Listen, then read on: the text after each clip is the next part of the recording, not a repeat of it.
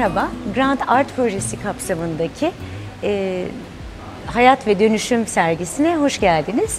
Bu sergideki işlerimin tamamı e, geri dönüştürülebilir sanat kapsamında atık e, malzemelerle e, hayata geçirdiğim eserler. Artık kullanmadığımız ya da çöp gözüyle baktığımız her türlü nesneyi e, sanatsal bir e, kimlik kazandırmak e, benim amacım.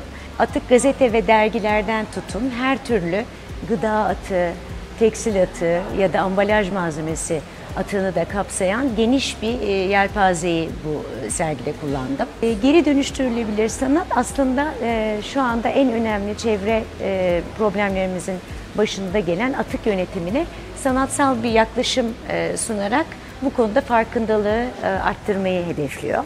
Nasıl bu atık eserleri e, değiştirip e, geliştirip onları bir, bir sanatsal bir e, hale sokabiliyorsak aynı şekilde ben kendi yaşamlarımızı da dönüştürebileceğimize inanıyorum.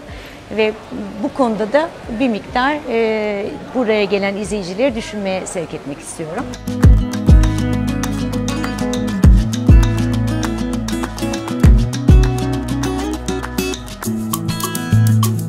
Mesela buradaki bir e, Zümrüt Anka serim var. Bu seride e, aslında bu yazlık yerlerdeki çıkan yangınlardan esinlenerek ve tekrar hayata dönmeyi vurgulayan e, bir seri e, oluşturmaya çalıştım.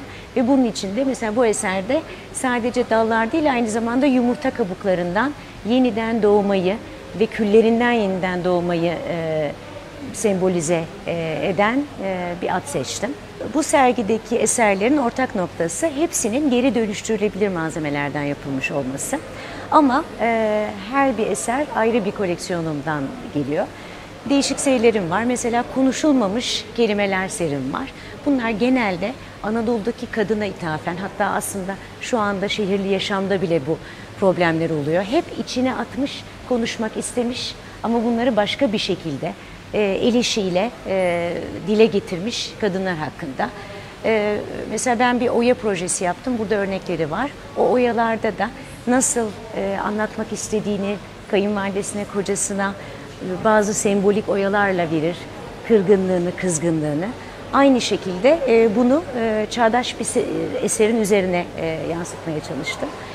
Bunun dışında yine aynı seriden e, ufak kalem darbeleriyle yarattığım kendi alfabemle yine böyle konuşulmamış sözcüklerden oluşan bir serim var.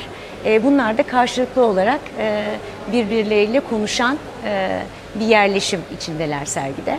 Yaşadığı çevreye özen gösteren tüm sanatseverleri sergimize bekliyoruz.